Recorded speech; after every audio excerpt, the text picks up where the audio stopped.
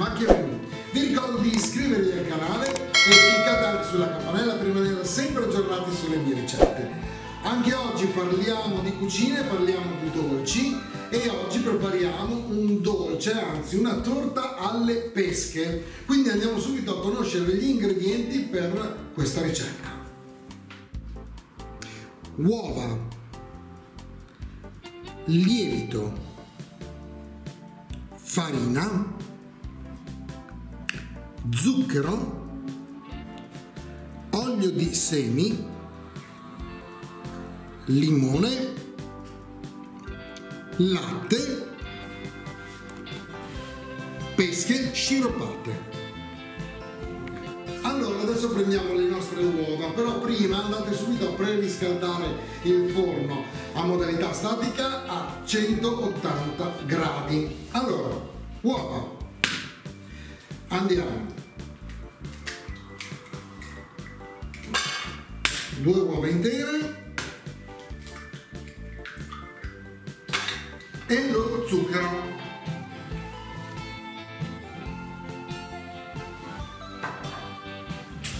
mescoliamo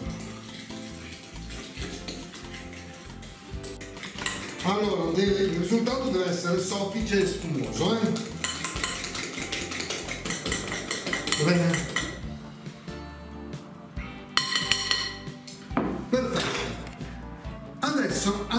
inserire l'olio la scorza del limone e il latte. Olio di semi di mais.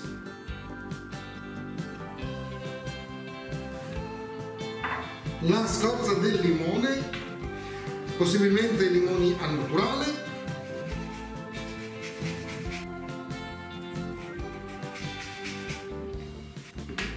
e poi il latte come abbiamo detto.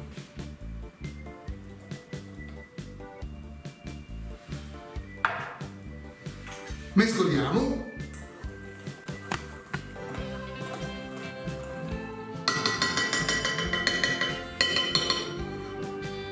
Adesso prendiamo la farina e il lievito, inseriamo il lievito nella farina e lo andiamo a setacciare insieme.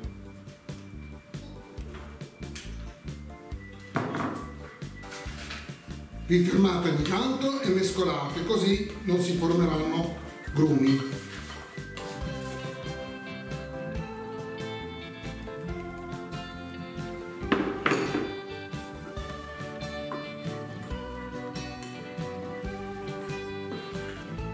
Adesso prendiamo le pesche, io ho scelto le pesche sciroppate perché eh, sono molto buone, però adesso che siamo in una bella stagione potete usare le pesche fresche, potete, usare, potete scegliere la frutta che, che vi piace di più.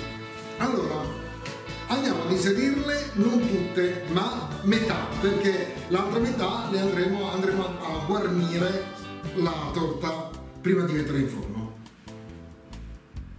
Allora, Credetemi, sarà un successore perché questa torta l'abbiamo portata da dei nostri amici, è sparita immediatamente. Quindi farete un successore. Allora, adesso prendiamo una teglia dal forno e naturalmente ricopritela con della carta forno e adesso andiamo a inserire il nostro composto.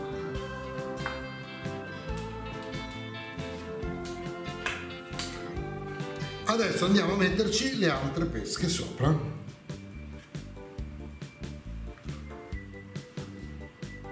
Adesso prendete anche dell'altro zucchero e andiamo a ricoprire leggermente la nostra torta.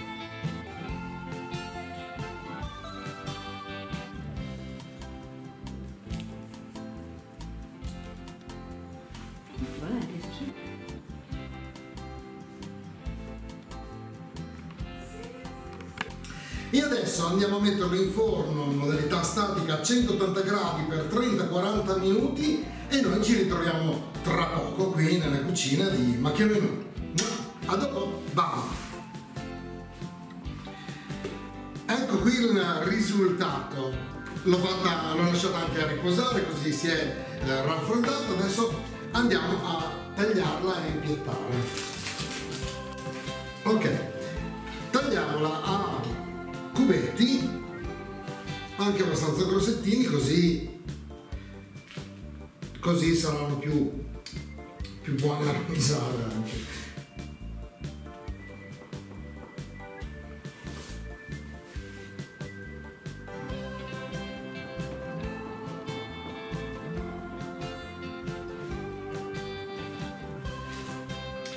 E andiamo a metterla in un piatto da portata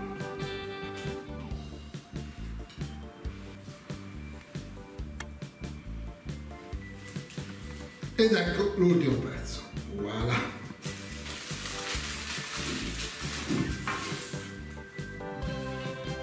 Se vi è piaciuta questa ricetta mettete un like, iscrivetevi al canale, cliccate sulla campanella per rimanere sempre aggiornati sulle mie ricette. Io vi do appuntamento alla prossima volta qui nella cucina di Macchia Menù e mi raccomando, vi aspetto numerosissimi e adesso vado ad assaggiare.